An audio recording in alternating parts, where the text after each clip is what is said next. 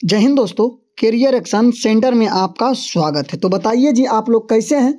तो हमें उम्मीद है कि आप लोग अच्छे होंगे और आप लोग का हिंदी की तैयारी बहुत अच्छा खासा हो चुका होगा। तो आज का हिंदी का ये अंतिम वीडियो होने वाला है और आप लोग को सबसे फ़र्स्ट पेपर देना है हिंदी के। तो आप लोग को जितना भी हिंदी में चैप्टर पढ़ना सभी से जितना भी ऑब्जेक्टिव क्वेश्चन पूछा जाता है तो सभी को हम इस वीडियो में सोल्यूशन कराएँगे। ठीक है तो आप लोग को आज यदि ये वीडियो पूरा कंप्लीट देखते तो आप लोग को हिंदी में पचास में पचास नंबर आने की संभावना है। और दूसरा, हिंदी का कोई भी वीडियो नहीं देखना पड़ेगा। तो आप लोग ये वीडियो को कंटिन्यू करते रहिएगा। यदि आप लोग को वीडियो पसंद आए तो वीडियो को आप लोग लाइक ज़रूर कीजिएगा। तो चलिए आप लोग का सबसे पहला क्वेश्चन है क्वेश्चन है कि सर्व विभाजन और जाति प्रथा के लेखक कौन है? बताइए आप लोग तो कौन है? तो बोलिएगा आप लोग कि भीमराव अंबेडकर। ऑप्शन बी होगा, ठीक है? भीमराव अंबेडकर। चलिए जी, दूसरा नंबर क्वेश्चन है कि भीमराव अंबेडकर का जन्म कब हुआ था? बताइए आप लोग भीमराव अंबेडकर का जन्म कब हुआ था? तो बोलिएगा आप लोग चौदह अप्रैल अठारह सौ इक्यानवे ईस्वी। चौदह अप्रैल अठारह सौ इक्यानवे ईस्वी, ठीक है? Option A. चलिए, अगला क्वेश्चन पर चलते भीमराव अंबेडकर का जन्म किस गाँव में हुआ था? भीमराव अंबेडकर का जन्म किस गाँव में हुआ था? तो बोलिएगा आप लोग महू। ऑप्शन ए, ठीक है? ऑप्शन ए होगा महू मध्य प्रदेश। चलिए जी, अगला क्वेश्चन पर चलते थोड़ा सा पेन को हम चेंज करते हैं। चलिए जी। अगला क्वेश्चन चार नंबर है कि भीमराव अंबेडकर का जन्म कहाँ हुआ था? बताइए आप लोग। तो आप लोग बोलिएगा कि ऑप्शन बी होगा महू मध्य प्रदेश। महू मध्य प्रदेश होगा ऑप्शन बी ठीक है? चलिए अगला क्वेश्चन पर चलते हैं। क्वेश्चन नंबर पाँच, अंबेडकर का जन्म किस परिवार में हुआ था? अंबेडकर का जन्म किस परिवार में हुआ था? तो आप लोग बोलिएगा ऑप्शन सी होगा दलित परिवार में, ठीक है? ऑप्शन सी दलित परिवार में। चलिए जी, अगला क्वेश्चन है कि डॉक्टर भीमराव अंबेडकर के पिता का क्या नाम था? बताइए आप लोग डॉक्टर भीमराव अंबेडकर के पिता का क्या नाम था? तो बोलिएगा आप लोग, राम जी सकपाल, राम जी सकपाल ऑप्शन बी होगा, ठीक है जी? चलिए जी, अगला क्वेश्चन छः नंबर पर चलते हैं। सतवा नंबर क्वेश्चन आप लोग को स्क्रीन पे दिख रहा होगा कि डॉक्टर अंबेडकर के माता का नाम क्या था? बताइए आप लोग। डॉक्टर अंबेडकर के माता का नाम क्या था? तो आप लोग बोलिएगा जी, ऑप्शन डी होगा Bhima by. Option D Bhima Bai. ठीक है जी, चलिए जी, अगला क्वेश्चन पर चलते डॉक्टर अंबेडकर उच्च शिक्षा के लिए कहाँ गए थे? बताइए आप लोग, डॉक्टर अंबेडकर उच्च शिक्षा के लिए कहाँ गए थे? तो आप लोग बोलिएगा Newark, option C option C, Newark. ठीक है, चलिए, नौ नंबर क्वेश्चन है कि डॉक्टर अंबेडकर किसके पर तो सोहन पर न्यूयॉर्क पढ़ने गए? डॉक्टर अंबेडकर किसके प्रतोत्सोहन पर? न्यूयॉर्क पढ़ने गए। तो आप लोग बोलिएगा, बड़ौदा नरेश। बड़ौदा नरेश, ऑप्शन बी, ठीक है? चलिए, अगला क्वेश्चन पर चलते भीमराव अंबेडकर के मुख्य प्रेरक व्यक्ति कितने थे? बताइए आप लोग, भीमराव अंबेडकर के मुख्य प्रेरक व्यक्ति कितने थे? तो आप लोग बोलेगा तीन।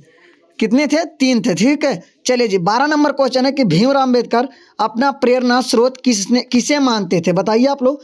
भीमराव अंबेडकर अपना प्रेरणा स्रोत किसे मानते थे? तो आप लोग बोलिएगा, बुद्ध कबीर जोइत फुले ऑप्शन डी होगा इनमें, सभी ऑप्शन डी चलिए, अगला क्वेश्चन पर चलते हैं हम लोग। भारतीय संविधान किसने लिखा? आप लोग को पता होगा ये क्वेश्चन का आंसर भारतीय संविधान किसने लिखा? तो आप लोग बोलिएगा, भीमराव अंबेडकर। भीमराव अंबेडकर ऑप्शन बी होगा, ठीक है जी? चलिए, अगला क्वेश्चन पर चलते हैं। भीमराव अंबेडकर ने किस पत्रिका का संपादन किया? भीमराव अंबेडकर ने किस पत्रिका का संपादन किया? तो आप लोग बोलिएगा, बहिष्कृत भारत। बहिष्कृत भारत ऑप्शन सी, ठीक है? चलिए, अगला क्वेश्चन पर चलते हैं। मुख्य नायक क्या है? मुख्य नायक क्या है? तो आप लोग बोलिएगा मुख्य नायक जो है पत्रिका है। ऑप्शन बी, ठीक है? चलिए, डॉक्टर भीमराव अंबेडकर की मृत्यु कब हुई?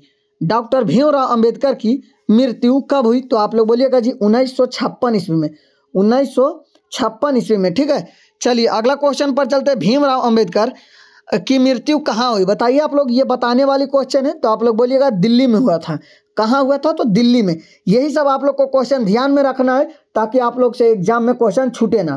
ठीक है? आप लोग ये वीडियो पूरा कंप्लीट देखते तो आप लोग को पचास में पचास सही होगा। ठीक है? तो आप लोग वीडियो को कंटिन्यू देखते रहिएगा। आप लोग को एनर्जी डाउन नहीं होना चाहिए। ठीक है? चलिए, अठारह नंबर क्वेश्चन है जाति पाति तोड़क मंडल कहाँ होना था? जाति पाति तोड़क मंडल कहाँ होना था? तो आप लोग बोलिएगा, लाहौर में। ऑप्शन ए लाहौर में, ठीक है?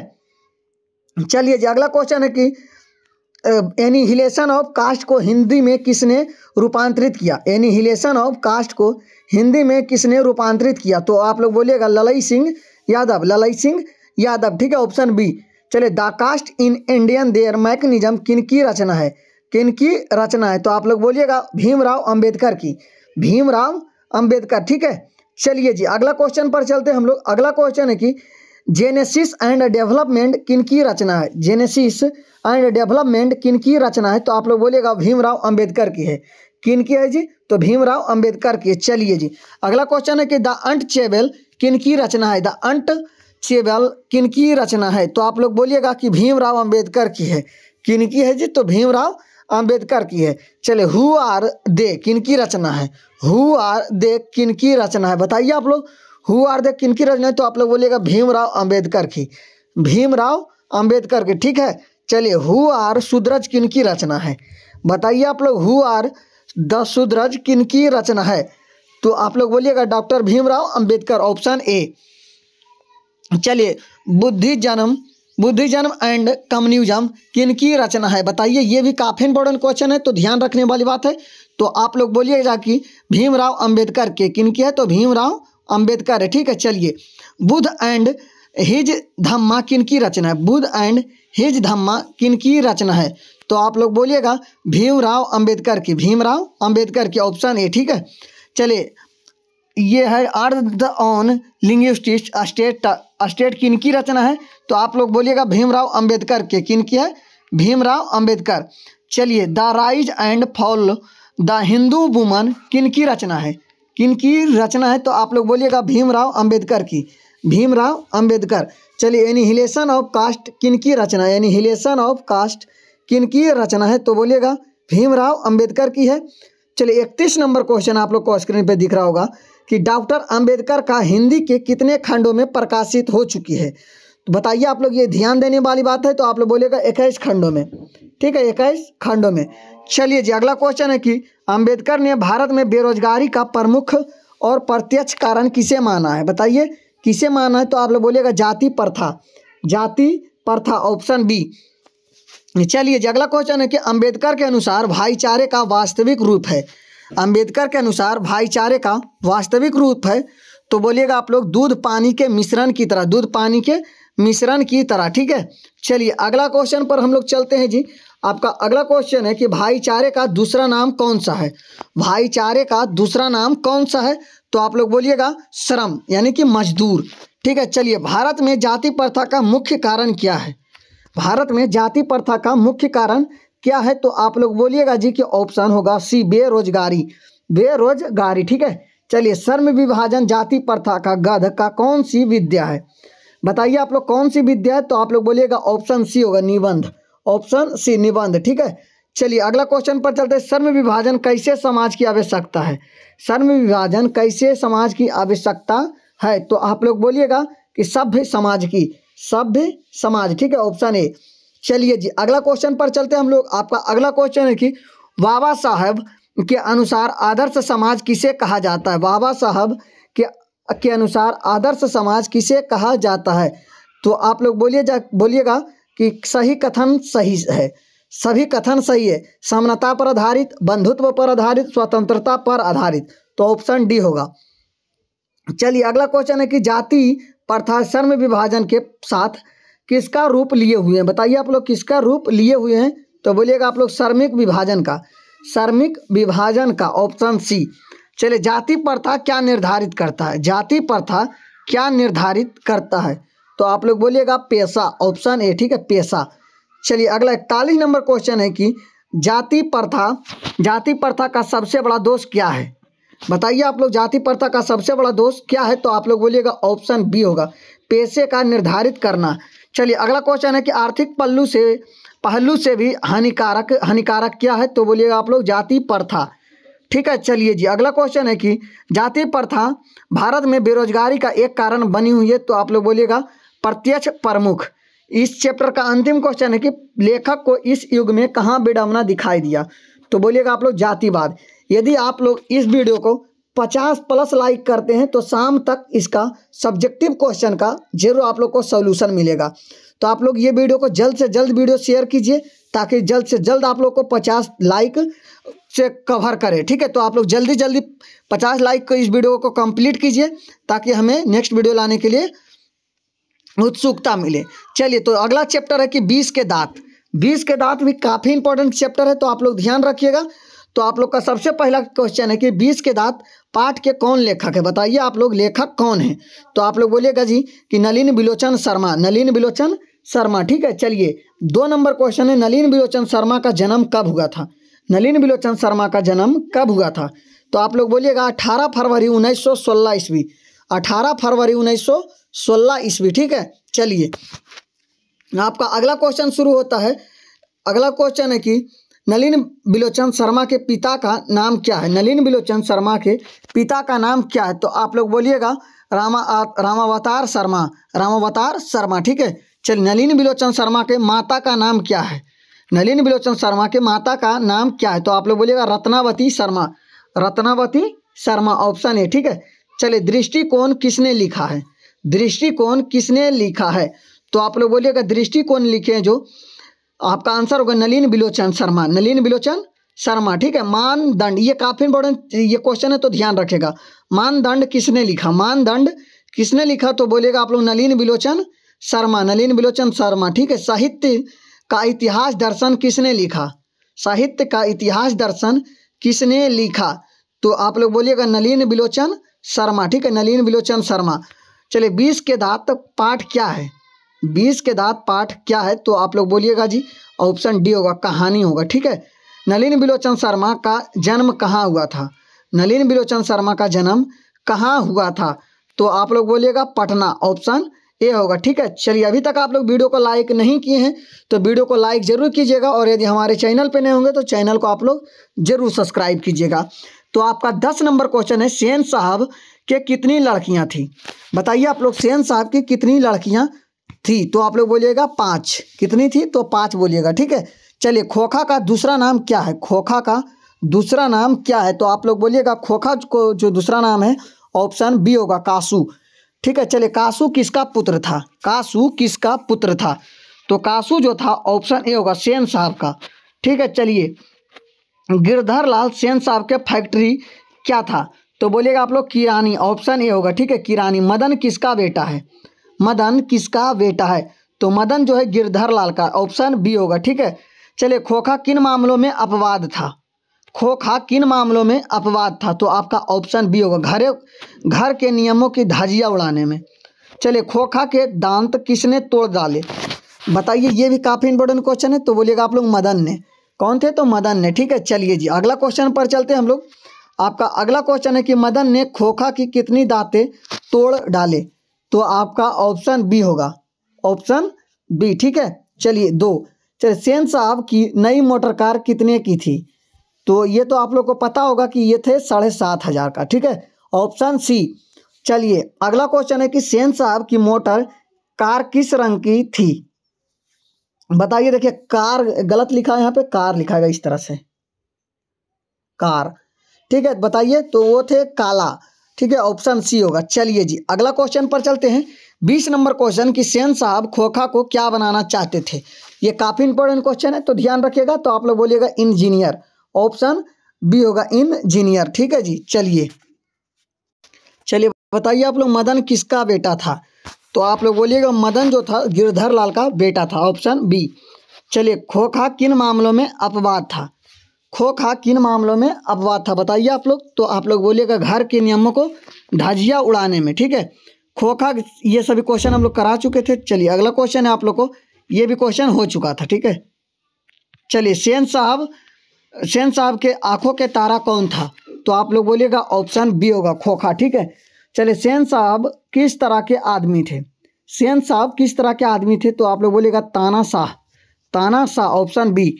चलिए, मदन और कासू के बीच झगड़े का क्या कारण था? तो आप लोग बोलेगा लट्टू खेलने की ललक। लट्टू खेलने की ललक, ऑप्शन सी। चलिए, मदन के लिए क्या खाना मामूली बात है? मदन के लिए क्या खाना मामूली बात है? तो आपका ऑप्शन बी होगा मार, ठीक है? चलिए झोपड़ी और महल के लड़ाई में अक्सर कौन जीता है? जीतता है। तो आपका बोलिएगा, आंसर होना चाहिए कि महल वाले। ऑप्शन बी, ठीक है, महल वाले ही जीतते हैं। मोटर कार को अगर खतरा था तो किससे था? बताइए आप लोग, मोटर कार को खा, अगर खतरा था तो किससे था? तो आपका ऑप्शन सी होगा, कासू से। ठीक है, कासू।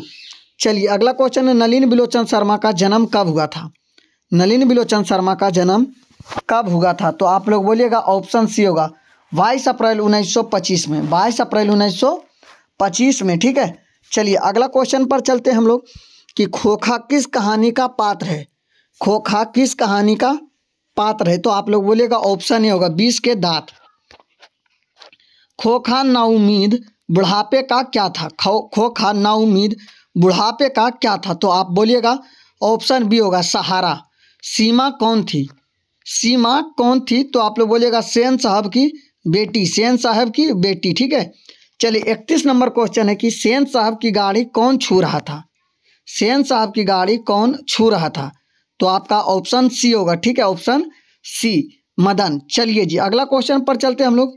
आपका अगला क्वेश्चन है जी कि मिस्टर सिंह की गाड़ी की हवा किसने निकाल दी थी? तो आप लोग बोलिएगा, कासू ने। कासू मदन के साथ किस खेल में शरीरक होना चाहता था? तो बोलेगा ऑप्शन डी, किसने मदद को, मदन को एक गुस्सा रसीद कर दिया? बताइए आप लोग तो आप लोग बोलिएगा, खोखा ने। चलिए, ऐसे ही लड़के आगे चलकर चोर गुंडा डाकू बनते हैं, यह किसने कहा था? तो बोलिएगा, सेन साहब। ठीक है, चलिए, सेन साहब की किस कहानी के पात्र हैं? तो आप लोग को पता होगा कि बीस के दांत। स्वस्थ लाभ के लिए पुत्रियों को क्या सिखाया जाता था? तो बोलिएगा खेलना ऑप्शन ए ठीक है? चलिए, अगला क्वेश्चन पर चलते हैं। खोखा खोखी का क्या अर्थ होता है? तो खोखा खोखी का अर्थ होता है बच्चा बच्ची और भाई बहन सॉरी भाई बहन ऑप्शन सी सब सोफर का अर्थ क्या होता? है तो आप लोग बोलिएगा सोफर का अर्थ होता है ड्राइवर ठीक है, ऐसा नहीं कि सोफर ड्राइवर का नाम था, ये बात गलत होगा। मदन अक्सर किसके हाथों से पीटता था? तो बोलिएगा उनके पिता से, ठीक है ऑप्शन डी चलिए तो आप लोग का तीसरा नंबर चैप्टर है कि भारत से हम क्या सीखें? तो आपका पहला ऑप्शन है क्वेश्चन है कि भारत से हम क्या सीखे के लेखक कौन है? बताइए आप लोग। तो आप लोग बोलिएगा मैक्स मुलर साहब, ऑप्शन डी। चलिए अगला क्वेश्चन है कि भारत से हम क्या सीखे? पाठ को हिंदी में रूपांतरित किसने किया?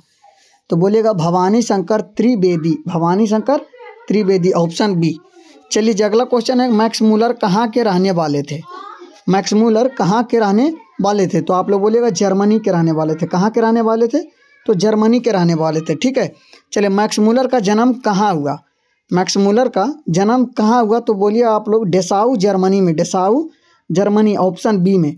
चलिए जी, अगला क्वेश्चन पर हम लोग चलते हैं फुल एनर्जी के साथ कि मैक्स मूलर का जन्म कब हुआ था? मैक्स मूलर का जन्म कब हुआ था? बताइए तो आप लोग बोलिएगा छः दिसंबर अठारह सौ तेईस ईस्वी। छः दिसंबर अठारह सौ तेईस ईस्वी। मैक्स मूलर का मृत्यु कब हुआ था? बताइए आप लोग, मैक्स मूलर का मृत्यु कब हुआ था? तो आप लोग बोलिएगा अट्ठाईस अक्टूबर उन्नीस सौ। अट्ठाईस अक्टूबर उन्नीस सौ ईस्वी, ठीक है जी? चलिए जी, अगला क्वेश्चन पर चलते हैं हम लोग। अगला क्वेश्चन है आप लोग के सामने कि मैक्स मूलर के पिता का नाम क्या था? मैक्स मूलर के पिता का नाम क्या था? तो आप लोग बोलिएगा Wilhelm Muller. Wilhelm Muller, option A, ठीक है? चलिए, अगला क्वेश्चन पर चलते हैं। मैक्स मूलर कितने साल के थे तो उनके पिता की मृत्यु हो गई? बताइए आप लोग मैक्स मूलर कितने साल के थे तो उनके पिता की मृत्यु हो गई? तो बोलिएगा आप लोग चार वर्ष। कितने थे? तो चार वर्ष। ऑप्शन ए, चलिए जी, नौवा नंबर क्वेश्चन है। नौ नंबर क्वेश्चन, लिपजिंग विश्वविद्यालय में मैक्स मूलर ने किस भाषा का अध्ययन किया? लिपजिंग विश्वविद्यालय में मैक्स मूलर ने किस भाषा का अध्ययन किया? तो बोलिएगा आप लोग संस्कृत का। ऑप्शन होगा सी, ठीक है, संस्कृत का।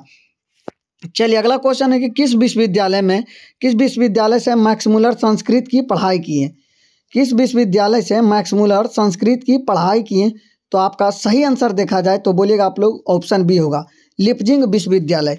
मेघदूत नामक पुस्तक का अनुवाद मैक्स मूलर में किस भाषा में किया? बताइए आप लोग तो आपका आंसर होगा जर्मन भाषा में। चलिए जी, अगला क्वेश्चन है कि मेघदूत नामक पुस्तक का जर्मन भाषा में अनुवाद किसने कराया? तो आप लोग का सही आंसर देखा जाए तो बोलिएगा मैक्स मूलर साहब का। मैक्स मूलर साहब का, ठीक है जी? चलिए जी, अगला क्वेश्चन है, कठ और केन उपनिषद का अनुवाद मैक्स मूलर ने किस भाषा में किया? बताइए तो आप लोग बोलिएगा जी कि आपका आंसर होगा जर्मन में। ऑप्शन बी, हितोपदेश का जर्मन भाषा में अनुवाद किसने किया? तो आप लोग को पता होगा कि मैक्स मूलर साहब, मैक्स मूलर साहब, ठीक है? चलिए, अगला क्वेश्चन है, पंद्रह नंबर क्वेश्चन हितोपदेश का जर्मन भाषा में अनुवाद किसने किया?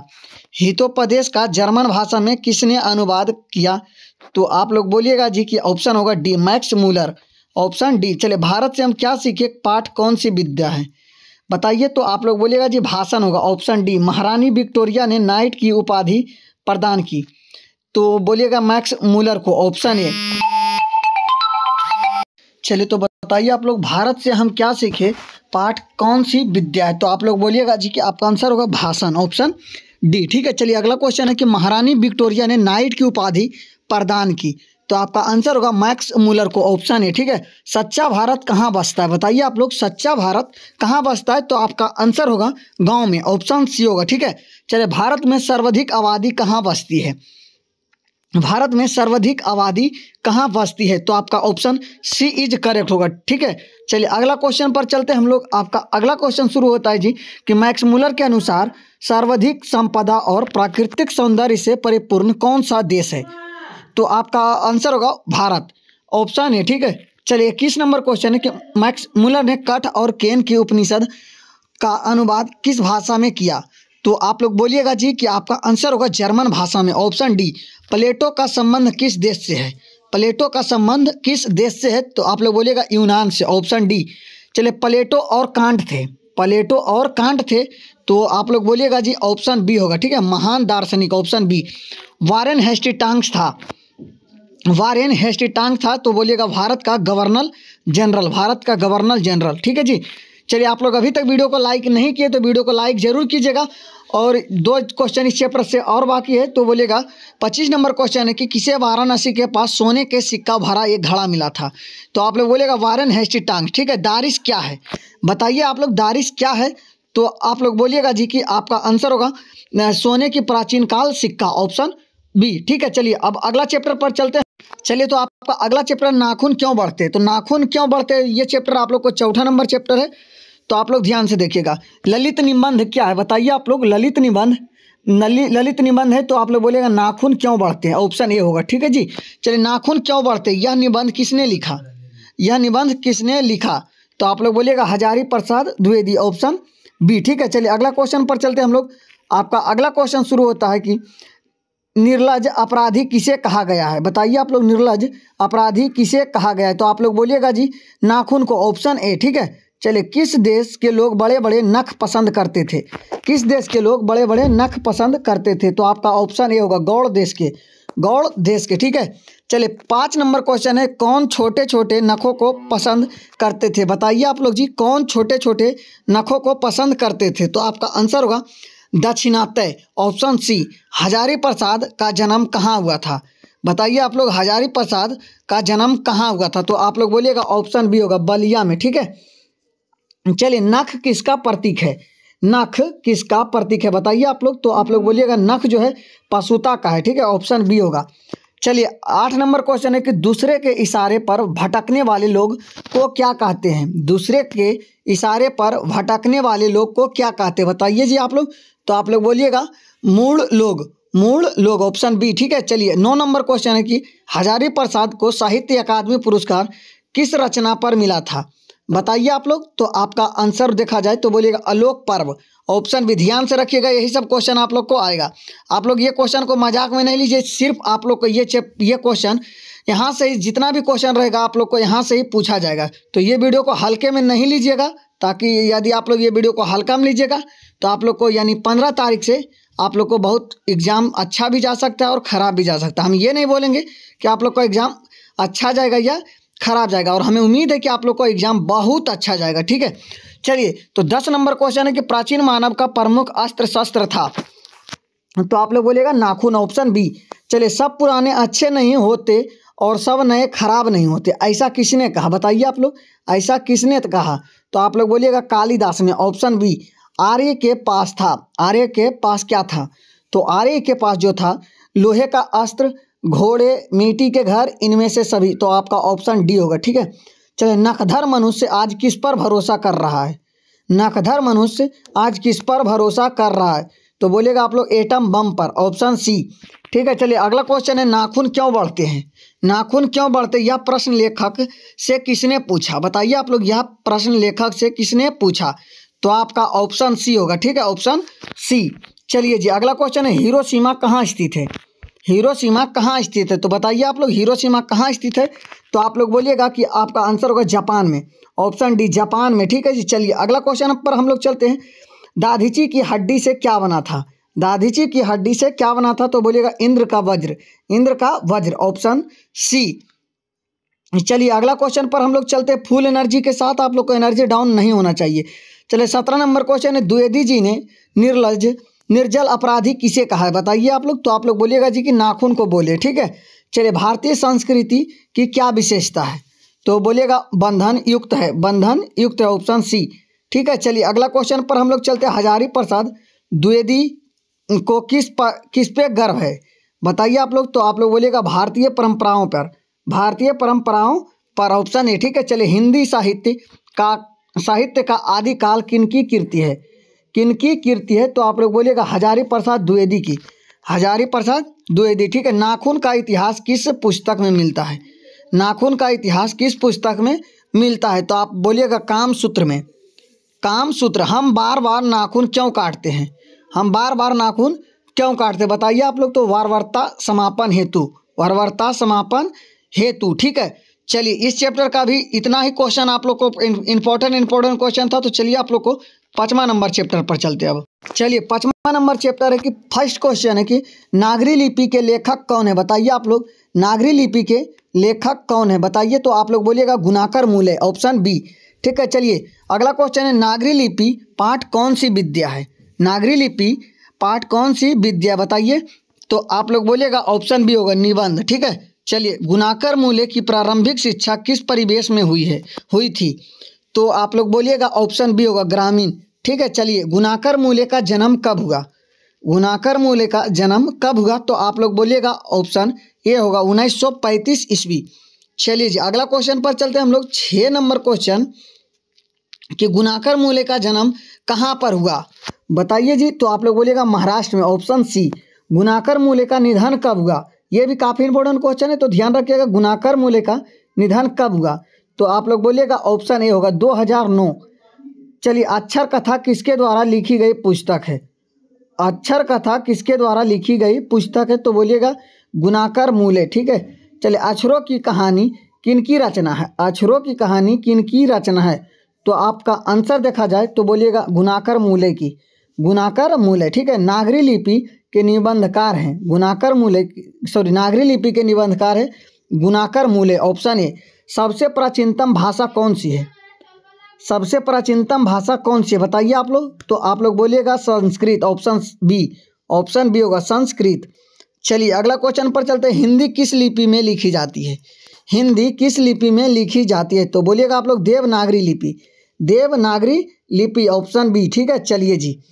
अगला क्वेश्चन पर चलते, तेरह नंबर क्वेश्चन आप लोग को स्क्रीन पे दिख रहा होगा कि नेवा, नेपाली भाषा की लिपि है। नेपाली नेपाली भाषा की लिपि है तो आपका ऑप्शन डी होगा। देवनागरी देवनागरी ऑप्शन डी चलिए, मराठी भाषा की लिपि है। मराठी भाषा की लिपि है, बताइए तो आप लोग बोलेगा देवनागरी ये भी ऑप्शन डी ही होगा, ठीक है?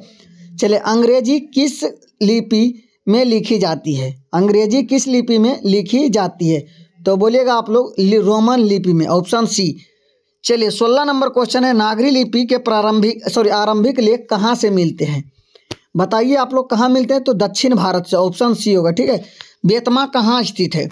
बेतमा कहाँ स्थित है? तो बोलिएगा इंदौर के पास ऑप्शन बी बेतमा दान पत्र किस समय का है? बताइए आप लोग तो आपका ऑप्शन बी होगा, ठीक है? ऑप्शन बी चलिए जी, अगला क्वेश्चन पर चलते हैं हम लोग। आपका अगला क्वेश्चन है कि अगला क्वेश्चन आप लोग को स्क्रीन पे कि उत्तर भारत के नागरी लिपि को किस लिपि के नाम से जाना जाता है? तो आप लोग बोलिएगा ऑप्शन ए होगा। ऑप्शन ए ठीक है? देवनागरी लिपि, सिद्धम क्या है? बताइए, सिद्धम क्या है? तो बोलिएगा एक प्रकार की लिपि है। उत्तर भारत में नागरी लिपि के लेख कब से कब तक मिलने लगते हैं? तो आठवीं सदी से ये मारिएगा ठीक है? चलिए इससे अच्छा खासा क्वेश्चन ये वाला पूछा जाता है। इस चैप्टर का अंतिम क्वेश्चन है। देवनागरी लिपि में मुद्रण के टाइप कब बने? तो आप बोलिएगा ऑप्शन ए होगा। दो सदी पहले, दो सदी पहले। तो चलिए अब हम लोग चलते हैं नेक्स्ट चैप्टर पर। और अभी तक आप लोग वीडियो को लाइक नहीं किए तो वीडियो को आप लोग लाइक ज़रूर कीजिएगा। और हमारे चैनल पे नहीं होंगे तो चैनल को आप लोग ज़रूर सब्सक्राइब कीजिएगा। चलिए अगला चैप्टर पर हम चला पहुँच गए हैं आप लोग के लिए। तो आपका चैप्टर है नाम बहादुर। तो बताइए आप लोग बहादुर कहानी किसने लिखा? बताइए आप लोग बहादुर कहानी किसने लिखा? तो आप लोग बताइएगा ऑप्शन ए होगा अमरकांत जी। चलिए, बहादुर कहानी के लेखक अमरकांत का जन्म कब हुआ? तो आप लोग बोलिएगा, ऑप्शन बी होगा, उन्नीस सौ पच्चीस ईस्वी, ठीक है? चलिए, अपने घर से बहादुर क्यों भागा? अपने घर से बहादुर क्यों भागा? तो आपका ऑप्शन बी होगा, ठीक है? माँ के का, माँ के मार के कारण। बहादुर की माँ संभावता कैसी थी? तो कैसी थी तो थोड़ा गुस्सैला थी, ऑप्शन बी होगा, ठीक है? बहादुर कौन था? बहादुर कौन था? बताइए आप लोग तो बोलिएगा कहानीकारक के नौकर, कहानीकारक के नौकर ऑप्शन डी चले बहादुर की माँ संभावता कैसी थी? ये क्वेश्चन रिपीट करा दिया गया। बहादुर कौन था? बताइए आप लोग। तो बोलिएगा, बहादुर जो है कहानीकार के नौकर थे। ऑप्शन डी होगा ठीक है? चलिए जी, अगला क्वेश्चन पर हम लोग चलते हैं। आपका अगला क्वेश्चन है जी। आपका अगला क्वेश्चन है सॉरी यहाँ से होगा दस नंबर क्वेश्चन ग्यारह नंबर।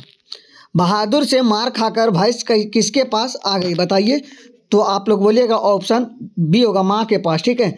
माँ के मार के डर से बहादुर रात भर कहाँ छिपा रहा? तो आप बोलिएगा जंगल में, ऑप्शन बी। बहादुर घर से चलते चलते चलते समय कितनी राशि लेकर आया, चला था? ये काफ़ी इंपॉर्टेंट क्वेश्चन है तो ध्यान रखिएगा। तो आप लोग बोलिएगा दो रुपया, ठीक है? आपका आंसर होगा दो रुपया, ठीक है? चलिए, अगला क्वेश्चन पर चलते हैं। बहादुर को लेकर घर कौन लाया था? बहादुर को घर लेकर लेखक के घर कौन लाया था? तो आपका ऑप्शन सी होगा, बहादुर का बाप कहाँ मारा गया था? तो आपका ऑप्शन बी होगा, युद्ध में। ठीक है, कहानीकारक के लड़के का नाम क्या था, बताइए आप लोग। तो आप लोग बोलिएगा ऑप्शन होगा। पहले तो आपका इक्कीस नंबर क्वेश्चन है, बहादुर लेखक की पत्नी निर्मला को किस रूप में देखता था, बताइए। तो आप लोग बोलिएगा, माँ के रूप में, ठीक है। चलिए, अगला क्वेश्चन है कि बहादुर का स्वभाव कैसा था? बहादुर का स्वभाव कैसा था तो आपका ऑप्शन सी होगा। दोनों, ठीक है? कर्मठ भी थे और ईमानदार भी थे। चलिए, अगला क्वेश्चन है कि बहादुर स्वभावतः कैसा था? ये भी काफ़ी इंपॉर्टेंट क्वेश्चन है तो आप लोग ध्यान रखिएगा, हसमुख एवं मेहनती ऑप्शन ये होगा, ठीक है? चलिए, बहादुर के नाम से दिल शब्द किसने जोड़ दिया? सॉरी किसने उड़ा दिया? बताइए आप लोग, किसने उड़ा दिया? तो आपका ऑप्शन होगा, बी, लेखक की पत्नी ने, लेखक की पत्नी ने, ठीक है? चलिए अगला क्वेश्चन है, बहादुर को किसकी याद नहीं आती थी? बहादुर को किसकी याद नहीं आती थी? तो आपका ऑप्शन होगा माँ की ऑप्शन है ठीक है? चल रुपया खाने का प्रपंच किसने रचा था? रुपया खो सॉरी ये सॉरी रुपया खोने का प्रपंच किसने रचा था? बचाइए बताइए आप लोग तो आपका आंसर होगा कहानीकार के रिश्तेदार ऑप्शन सी होगा, ठीक है? रिश्तेदार की पत्नी की कितने रुपये खो गए थे? तो आप लोग बोलिएगा ऑप्शन सी होगा ग्यारह रुपया, ठीक है, ग्यारह रुपया। चलिए जी, अगला क्वेश्चन पर चलते हैं। आप लोग अभी तक वीडियो को लाइक नहीं किए तो वीडियो को लाइक ज़रूर कीजिएगा ताकि आप लोग को हिंदी वाला क्वेश्चन सभी के सभी ऑब्जेक्टिव कंप्लीट हो जाए। चलिए, बहादुर पर चोरी का आरोप किसने लगाया? बताइए जी, आप लोग कौन लगाए थे? बहादुर पर आरोप चोरी का तो आप लोग बोलिएगा ऑप्शन बी होगा। लेखक के रिश्तेदार ने ऑप्शन बी ठीक है। लेखक के रिश्तेदार ने बहादुर पर क्या आरोप लगाए थे? तो बताइए, पैसा चुराने के लगाए गए थे? ऑप्शन ए, बहादुर पर कितने रुपये की चोरी का आरोप लगाया गया था? ये काफ़ी इंपॉर्टेंट क्वेश्चन है तो ध्यान रखिएगा। तो आपका आंसर होगा ग्यारह रुपये ऑप्शन सी। चलिए, जहाँ प्रतिष्ठा नहीं, वहाँ क्या रहना यह बात किसके मन में उत्पन्न हुई? तो आपका ऑप्शन बी होगा, बहादुर के ऑप्शन बी। चलिए, बहादुर ने लेखक का घर क्यों छोड़कर भाग गया? तो आपका आंसर होगा चोरी का झूठा आरोप लगाने पर, ठीक है? चलिए जी, अगला क्वेश्चन पर चलते हैं। हम लोग यदि मैं नहीं मारता तो शायद वह नहीं जाता। यह वाक्य किसने कहा? यह वाक्य किसने कहा? तो लेखक ने कहा था। तो इस चैप्टर से इतना ही ऑब्जेक्टिव क्वेश्चन जितना भी इंपॉर्टेंट इंपॉर्टेंट क्वेश्चन था, सभी चैप्टर से इतना हम लोग करा चुके चलिए अब लोग, हम लोग चलते अगला चैप्टर पे। अब अगला चैप्टर जीत जीत मैं निरखत हूँ। तो ये सभी चैप्टर से काफ़ी इंपॉर्टेंट इंपॉर्टेंट क्वेश्चन उठता है तो आप लोग ध्यान रखिएगा। कि आपका पहला क्वेश्चन जीत जीत मैं निर्खत हूँ पाठ के लेखक कौन है? तो आप लोग बोलिएगा, पंडित बिरजू महाराज ऑप्शन डी होगा, ठीक है? जीत जीत मैं निरखा, तू पाठ साहित्य की कौन सी विद्या है? तो आप लोग बोलिएगा, साक्षात्कार ऑप्शन डी होगा। साक्षात्कार, ठीक है? चलिए अगला क्वेश्चन पर हम लोग चलते हैं। आपका अगला क्वेश्चन शुरू होता है कि पंडित बिरजू महाराज का जन्म कहाँ हुआ था? बताइए आप लोग, पंडित बिरजू महाराज का जन्म कहाँ हुआ था? तो आप लोग बोलिएगा, लखनऊ में हुआ था, ठीक है? ऑप्शन बी चलिए बिरजू महाराज की ख्याति किस रूप में है?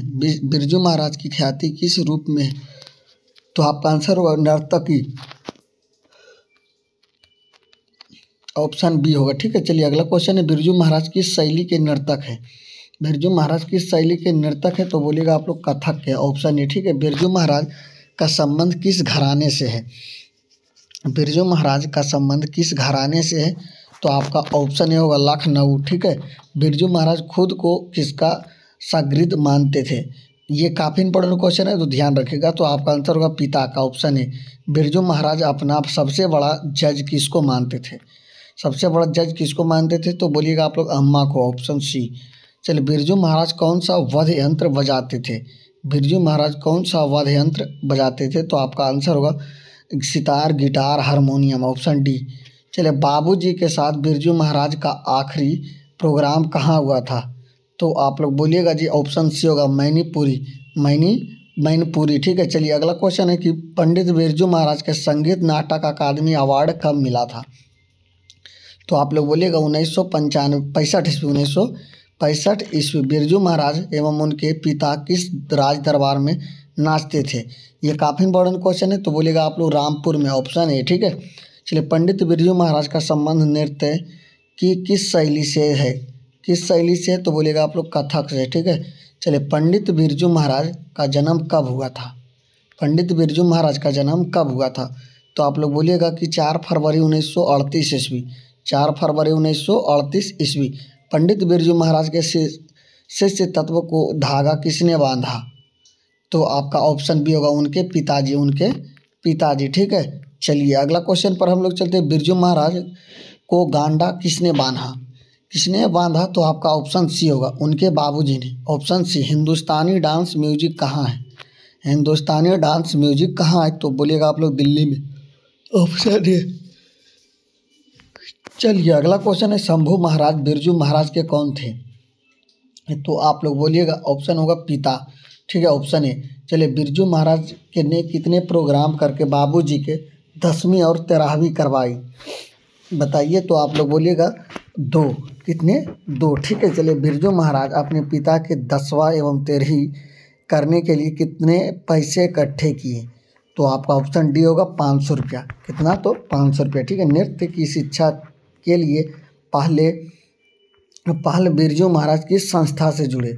तो आप लोग बोलिएगा, हिंदुस्तानी डांस म्यूज़िक दिल्ली। ठीक है, चलिए जी, अगला क्वेश्चन पर हम लोग चलते हैं। कि पंडित बिरजू महाराज के शिष्यत्व धागा किसने बांधा, ये रिपीट किया गया क्वेश्चन रसीम वाजपेयी किस पत्रिका को संपा, संपादायिक है? बताइए आप लोग तो आपका ऑप्शन सी होगा, नटरंग. ये ध्यान से रखिएगा ये क्वेश्चन नटरंग शीर्षक पत्रिका की संपादक कौन है? तो आपका ऑप्शन बी होगा. रसीम वाजपेयी, बिरजू महाराज के वाहनों का जन्म हुआ था. वाहनों का जन्म हुआ था तो आपका आंसर होगा रामपुर में. ऑप्शन ए बिरजू को क्या पहनने का बहुत शौक था? तो बोलिएगा चश्मा ऑप्शन बी। चलिए, हिंदुस्तान डांस अकादमी में थी। तो में थी जो कि कपिल जी और लीला कृपलानी, ऑप्शन सी होगा ये बी दोनों। चलिए, अगला क्वेश्चन पर हम लोग चलते हैं। आपका अगला क्वेश्चन शुरू होता है कि शागिर्द का अर्थ है।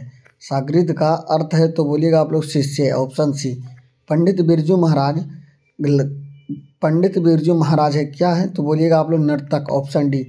बिरजू महाराज का साक्षात्कार किसने लिया है? किसने लिया है तो आपका ऑप्शन बी होगा, रसीम वाजपेयी चलिए बिरजू महाराज के पिता के क्या थे? तो बोलिएगा, प्रसिद्ध नर्तक के। चलिए, बिरजू महाराज के प्रारंभिक शिक्षा किससे प्राप्त हुई हुई थी? तो अब बोलिएगा, इनका होगा कपिल जी। Kapila ji, option C. चलिए, इस चैप्टर का अंतिम क्वेश्चन है कि बिरजू महाराज की पहली शिष्य थी। पहली शिष्य कौन थी? तो आप लोग बोलेगा रमा, ऑप्शन सी। चलिए नेक्स्ट चैप्टर पर हम लोग चलते हैं। चलिए अब आपका अगला चैप्टर शुरू होता है अवन्यो। तो अवन्यो शीर्षक पाठ के साहित्य की कौन सी विद्या बताइए आप लोग? तो आप लोग बोलिएगा यत्र विरताल ऑप्शन बी ठीक है जी? चलिए अगला क्वेश्चन पर चलते हैं। अवन्यो पाठ के लेखक कौन है? अवन्यो पाठ के लेखक कौन है बताइए आप लोग? तो बोलिएगा आप लोग अशोक वाजपेयी, ठीक है?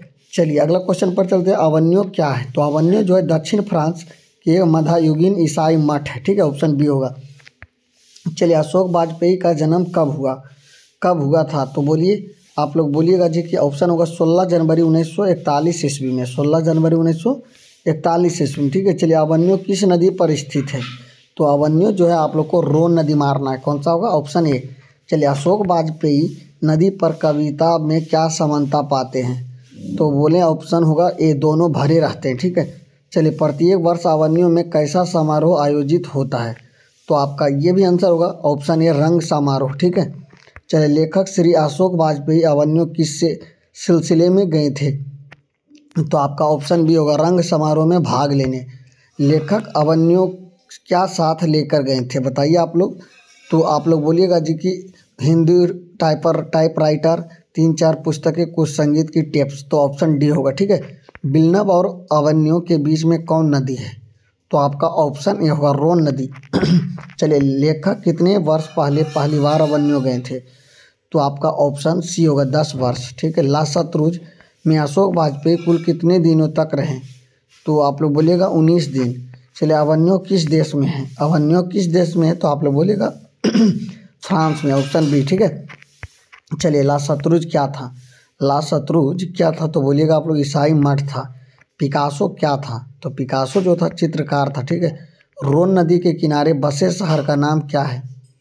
रोन नदी के किनारे बसे शहर का नाम क्या है? तो बोलिएगा आप लोग, ऑप्शन सी होगा अवन्यो। पिकासो की विख्यात कृति का नाम क्या है? तो बोलिएगा, मादा मोजेल दा अवन्यो, ठीक है? रोन नदी कहाँ है? रोन नदी कहाँ है? तो बोलिएगा आप लोग, फ्रांस में, ठीक है? फ्रांस का प्रमुख कला केंद्र रहा है। तो बोलिएगा, एफिल टावर और अवन्यो।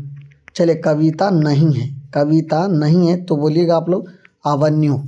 और महात्मा गांधी अंतर्राष्ट्रीय हिंदी विश्वविद्यालय के प्रथम कुलपति। प्रथम कुलपति कौन थे? तो बोलिएगा अशोक वाजपेयी। चलिए, आंद्रे ब्रेंतोरेंसो और पाल एहलुआर ने अवन्यों में रहकर संयुक्त रूप से लगभग कितनी कविताओं की रचना की थी? तो बोलिएगा आप लोग, तीस। अवन्यों में था पोप की राजधानी जो थी, ऑप्शन बी होगा, ठीक है? चाहे बिलनब क्या है? बिलनब क्या है? तो बिलनब जो है, आपका आंसर होगा फ्रांस का एक छोटा सा गाँव है। चलिए, इस चैप्टर का अंतिम क्वेश्चन है कि आंध्र बेंत्रा क्या है? तो आंध्र बेंत्रा क्या है? तो आप लोग बोलिएगा कवि है, ऑप्शन ए। चलिए, नेक्स्ट चैप्टर पर हम लोग चलते हैं और अभी तक आप लोग वीडियो को लाइक नहीं किए तो वीडियो को लाइक ज़रूर कीजिएगा। और यदि अभी तक हमारे चैनल को सब्सक्राइब नहीं किए तो चैनल को आप लोग ज़रूर सब्सक्राइब कीजिएगा।